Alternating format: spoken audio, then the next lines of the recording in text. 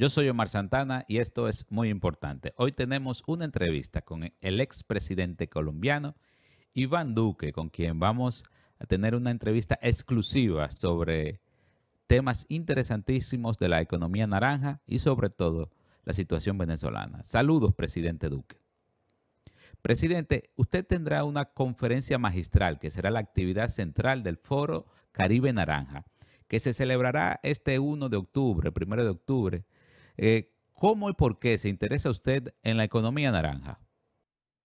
Bueno, primero siempre he tenido un vínculo grande con la cultura, por mis propias afinidades, mis propios gustos.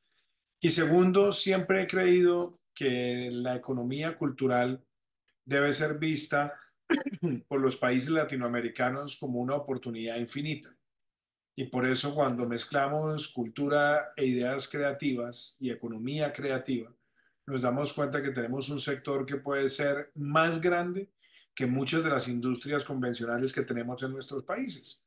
Entonces, así fue como desde a comienzos del año 2012, cuando asumí como jefe de la División de Cultura, Creatividad y Solidaridad del BID, me dediqué a producir investigación y a producir conocimiento asociado con mostrarle a la sociedad el peso de esta economía cultural y creativa y de cómo, teniendo en cuenta que el talento es algo que está distribuido de manera democrática en nuestras sociedades, cómo ese talento, si lo empoderamos y le damos las herramientas adecuadas, pues puede ser una fuente inagotable de capital humano. Y así surgió la economía naranja en el año 2013 como publicación que la hicimos con Felipe Huitrago, que hasta la fecha y aún hoy sigue siendo la publicación más descargada en la plataforma del Banco Interamericano de Desarrollo. Desde su experiencia, ¿cómo ve el potencial de República Dominicana para exportar su creatividad y fortalecer su imagen global? ¿Qué claves considera esenciales para que un país pueda consolidarse como referente en la economía creativa? Tremendo. Yo creo que esta es una, la economía naranja tiene que ser vista por República Dominicana como una de sus áreas prioritarias de crecimiento y también de fortalecer sus lazos con el mundo. Cuando escribimos el libro La economía naranja en el año 2013, hablábamos de las siete Is. Y esas siete Is eh, están constituidas primero por información, después por infraestructura, que también es muy importante, instituciones, industria, integración, inclusión e inspiración. Esas siete Is combinadas empiezan a dar una fortaleza tremenda. Y República Dominicana no solamente tiene un talento musical que es inagotable, sino que también se puede convertir en uno de los lugares más atractivos para la producción cinematográfica e inclusive también la producción audiovisual en toda nuestra región. Entonces, eso implica que si tenemos buena información, tenemos buenas instituciones y se construye buena infraestructura para que esto prospere, se genera una industria que a su vez es integradora con otros países porque hay más coproducción y hay mucha más co-comercialización, coprotección, incluye a más sectores de la sociedad con nuevas fuentes de empleo donde tienen talento y esto por supuesto puede inspirar constantemente a que vengan nuevos inversionistas y se siga creciendo el sector. Entonces yo creo que sin lugar a dudas República Dominicana lo tiene todo. Tiene un interior bellísimo, tiene sol y playa, tiene buena infraestructura, tiene buen talento en materia de, talento cultural, tiene además una posición geoestratégica maravillosa de estar muy cerca a distintos mercados, incluyendo el mercado de Norteamérica, tiene una cercanía con España y con Europa que es importante. Entonces yo creo que si República Dominicana se ve a sí misma como una oportunidad naranja, donde eso se integra con el turismo convencional, con todo lo que es eh, patrimonio cultural y herencia, tradiciones, festivales, carnavales, etcétera, pues acá tenemos un sector que puede llegar a ser tan importante como el turismo para el país. Presidente, en República Dominicana se está discutiendo una reforma fiscal que podría eliminar las exenciones al sector cinematográfico, una industria clave dentro de la economía naranja. Sabemos que en Colombia también existe una ley de cine que otorga incentivos importantes para el desarrollo de la industria audiovisual. Desde su experiencia impulsando la economía naranja, ¿Cómo cree que afectará a un país como República Dominicana la eliminación de estos incentivos? A ver, es muy difícil desarrollar una industria cinematográfica hoy en el mundo sin incentivos, entre otras cosas, porque los grandes competidores todos usan incentivos. Todos. Inclusive los mercados de los países más desarrollados tienen incentivos para estas industrias.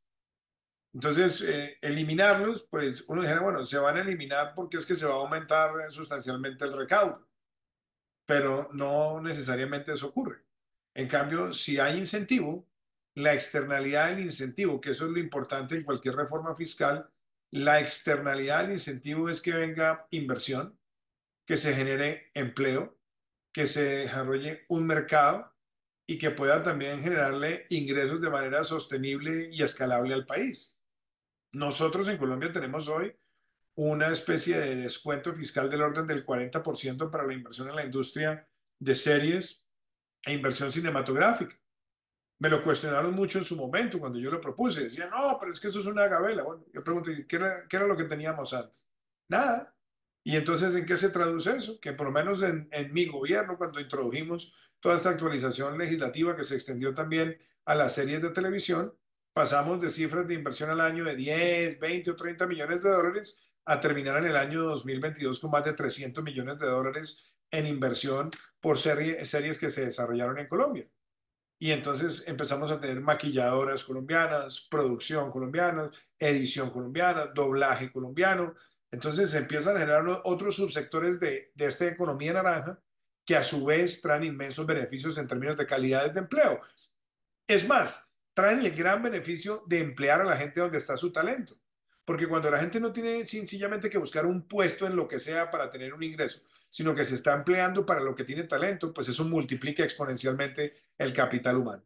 Yo no conozco todavía los textos eh, de lo que se ha propuesto en República Dominicana, pero conociendo además la sensibilidad también del presidente Abinader por estas materias, pues yo pensaría que él, que además le ha dado mucho relieve a la tarea que adelanta la ministra de Cultura, yo me imagino que para Dominicana es mucho más importante tener el incentivo que no tenerlo y la mejor justificación no es tanto por el lado de los ingresos como por el lado de las externalidades que esto puede traer en empleo, en inversión y en encadenamiento productivo.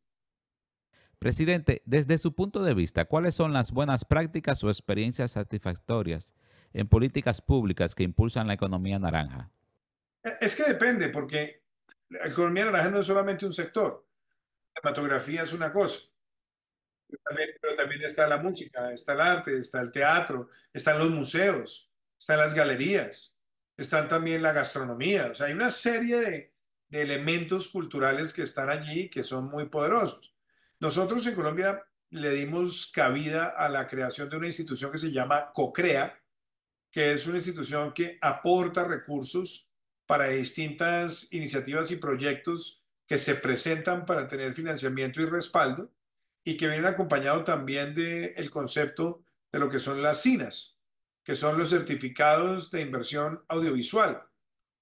Entonces, CoCrea apoya proyectos y también tenemos los CINAS y los resultados de esto han sido tremendo. De hecho, si, si usted se da cuenta, el sector que más rápido se recuperó después de la pandemia fue la economía naranja y donde hemos visto el mayor crecimiento de nuevos emprendimientos en el país en los últimos cuatro años es en el sector de economía naranja. Entonces, yo particularmente creo que este es un sector que como tiene tantas aristas y genera tantos encadenamientos productivos, yo creo que hay que ver las buenas prácticas, no solamente desde el lado del incentivo fiscal, esa es una, tener buena regulación y sobre todo tener muy buena motivación para que se creen estas empresas. De hecho, nosotros tuvimos en una de nuestras primeras reformas fiscales, esto fue en el año 2018, que toda empresa que se creara en los sectores de valor agregado y también en los sectores de economía naranja, no pagarían impuesto de renta los primeros cinco años, siempre y cuando se cumplieran las condiciones de un mínimo de empleos generados y un mínimo de inversión realizada. Entonces, el problema no es que exista un subsidio o un incentivo. El tema es que la externalidad, es decir, el beneficio que produce o, o el impacto que produce, sea un impacto apabullante. Bueno, tenemos que hablar del tema venezolano. La crisis en Venezuela sigue siendo uno de los desafíos más grandes de la estabilidad geopolítica en la región, Latinoamérica y el Caribe. Durante, su mandato, presidente, usted eh, tuvo que recibir a millones de migrantes venezolanos. Ahora, con la situación actual, ¿cómo evalúa eh, lo que está ocurriendo en Venezuela y cómo impacta esto a la región? No, es que hay que ver una cosa, digámoslo con mucha precisión. La migración de hermanos y hermanas venezolanas se ha producido por la destrucción económica y social que ha traído dos décadas de Castro Madurismo, de, iba a decir Castro Chavismo, chavismo madurismo. Y si quiere también agreguen el Castro porque fue el, el mentor de los dos o el ídolo de los dos. Pero lo cierto es que 20 años de Chávez y Maduro han deteriorado el capital humano, el capital económico, el capital institucional, y eso ha llevado a una migración de casi 7 millones de personas de los cuales un poco más de 2 millones están en Colombia. Y nosotros tomamos una decisión de darles el estatuto de protección temporal por 10 años, donde tienen todos los derechos menos los derechos políticos y pueden abrirse camino en Colombia. Eso se hizo y se hizo con convicción. Pero esto que estamos viendo, este hurto fraglante de las elecciones que pretende hacer Nicolás Maduro y toda la intimidación, puede llevar a que venga una nueva ola migratoria que va a ser muy compleja y para la cual los países no están preparados porque no tienen esa capacidad de absorción. Entonces yo creo que lo que se necesita es realmente ya llevar a la dictadura a su final. Pero eso requiere que también en la comunidad internacional nos salgamos de, de lo que es políticamente correcto, llamemos las cosas por su nombre y también se puedan hacer las intervenciones que corresponda apoyando a las fuerzas militares de Venezuela para que faciliten la defensa integral de la democracia y de la constitución que obliga a que Edmundo González se posesione como presidente en enero del año 2025. Entonces, ahí, si se ve ese cambio, si se ve un reverdecer y una esperanza democrática, eso puede ayudar también a que muchas personas que se han ido regresen, pero también para contener lo que ha sido una estampida de personas carentes de, derechos que han tratado de buscar refugio en otros lugares. Entonces, eh, señor presidente, no hay una salida negociada tampoco. Es que las actas ya se vieron. Las actas ya se conocen.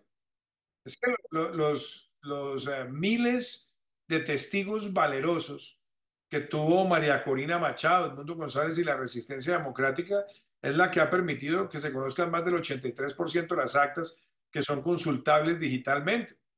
Entonces no, no sigamos diciéndole más al dictador que muestre las actas, no las va a mostrar, no las tiene. Y no, es que ninguna salida negociada puede servir distinta a negociar los términos de la salida de Maduro. Y él no tiene el negocio del narcotráfico para la venta. Entonces, por eso se necesita ya que la comunidad internacional realmente esté dispuesta a actuar sin tenerle miedo a lo que es políticamente correcto, sino más bien a lo que es moralmente un deber, que es permitir la transición rápida de la dictadura a la democracia, que ha sido el clamor del pueblo durante las últimas dos décadas. Muchas gracias. Esto fue muy importante en una entrevista exclusiva con el expresidente colombiano Iván Duque. Hasta la próxima.